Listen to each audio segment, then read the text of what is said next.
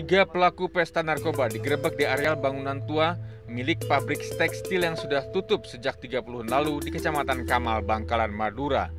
Ketiganya pasrah saat digeledah polisi. Satu di antara mereka nampak tersenyum pada petugas karena sedang dalam pengaruh narkoba.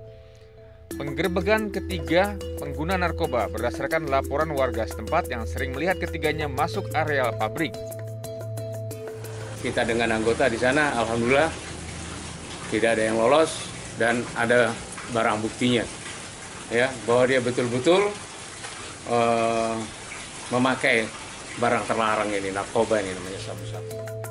Salah seorang pelaku merupakan mantan caleg gagal saat pemilu 2019 lalu mengaku mereka membeli narkoba dari seorang pengedar di Kecamatan Socah Bangkalan.